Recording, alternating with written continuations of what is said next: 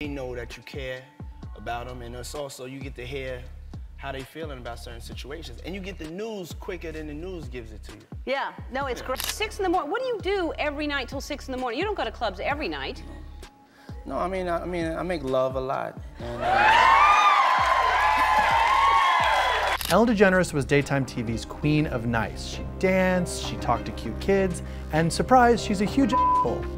Ellen DeGeneres feeling the heat. Bullying, now even sexual harassment. A lot of his people that know him, a lot of the people that been in those parties and seen probably some unscrupulous that went down and was like, ooh, I was there.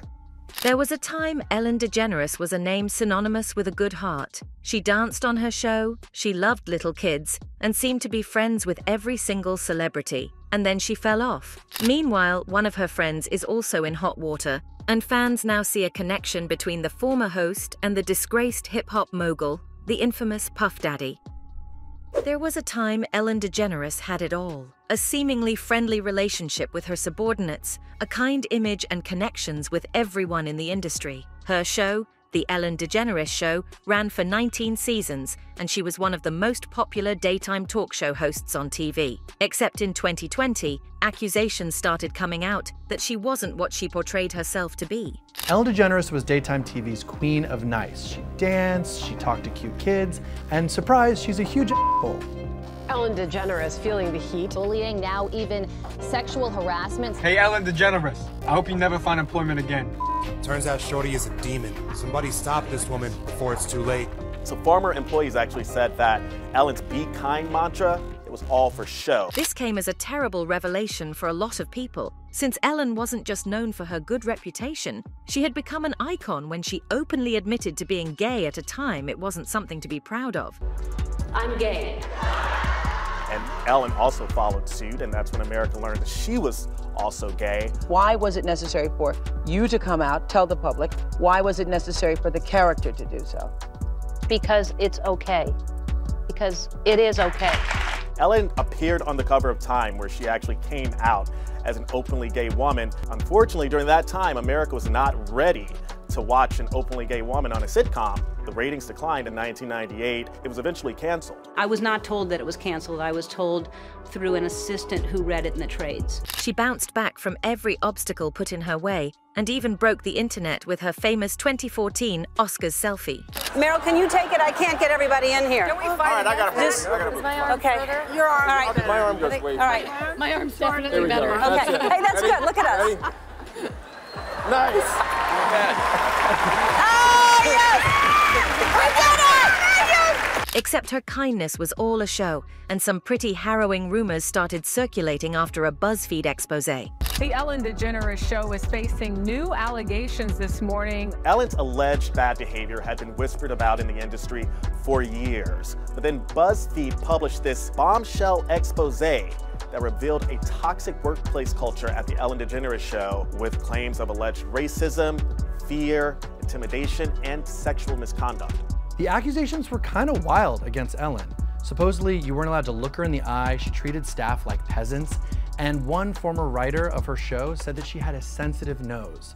That means you weren't allowed to have bad breath, order fish for lunch. Several people started coming out with stories explaining how her kind and down to earth image was just a scam and she was horrible to her staff. Internal investigation, they interviewed more than 100 people connected with the show, and now Ellen's leadership team is getting overhauled.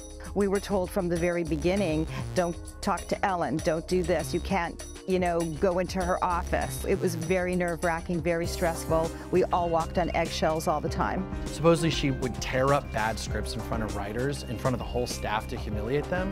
One makeup artist was quoted as saying that when he tried to make small talk with Ellen, she supposedly said, Who do you think you are? Don't look at me. Ellen's former bodyguard, Tom Majercak, also spoke out, noting that he was assigned to her during the 2014 Oscars and that she was the one person out of many celebrities he's been assigned to that, quote, has never taken the time to say hi to me. Of course, she denied having any responsibility, instead, making an obscure apology. She even had the nerve to imply she was kicked out of show business. Reportedly saying, I got kicked out of show business. There's no mean people in show business. The be kind girl wasn't kind. I became this one dimensional character who gave stuff away and danced up steps. Do you know how hard it is to dance up steps? Would a mean person dance up steps? Now, this trajectory might remind you of someone else, though admittedly on a much larger and much worse scale. That's right, we're talking about Ellen's good friend, the now infamous Sean Diddy Combs. His downfall started when his ex girlfriend Cassie Ventura sued him, and escalated when he was slapped with a gigantic civil lawsuit by his ex producer Rodney Jones. These, along with many others, alleged some pretty horrific stuff about the rapper. producer named Little Rod Jones had sued him for sexual harassment, sexual assault, was alleging absolutely horre- horrendous things against him. And this is on the heels of other lawsuits. Remember, Cassie Ventura had filed a lawsuit against him. She settled the day after, but she accused him of rape and human trafficking. I mean, real, the worst stuff you can imagine. The allegations included rape, drug abuse, violence, and for Cassie, over a decade of threats and coercion. And it all came to a head when federal investigators stormed two of his Miami and Los Angeles homes as part of a sex trafficking operation. But just like Ellen, he has also vehemently refused any responsibility despite the level and number of accusations hurled at him. In fact, he called the multiple lawsuits against him cash grabs, saying that people only wanted to defame him and his family. Music mogul tells E! News in a statement enough is enough. For the last couple of weeks, I have sat silently and watched people try to assassinate my character, destroy my reputation, and my legacy. Sickening allegations have been made against me by individuals looking for a quick payday. He adds, Let me be absolutely clear. I did not do any of the awful things being alleged. I will fight for my name, my family, and for the truth. But no matter what, it looks like his victims refuse to stay silent any longer, and there have been more and more people speaking out against him. So, how does Ellen factor in? For one, both are known to be on good terms, and both of them are also proven narcissists who treat people around them like trash. In fact, Diddy's ex bodyguard Gene Deal even exposed him for abandoning people who helped him get where he was. But I will not let this name go down as if he was this greatest thing that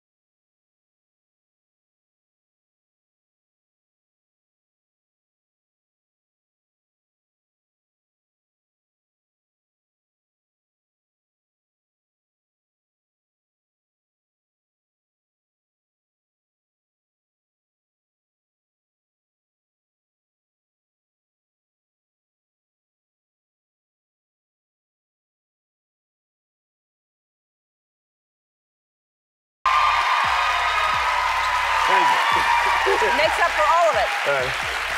All right, 45 seconds on the clock. Go. Um, oh, uh. Tap dancing. Yes, yes. Um, uh. Gangnam Style. Yeah, yes. Yeah. Um.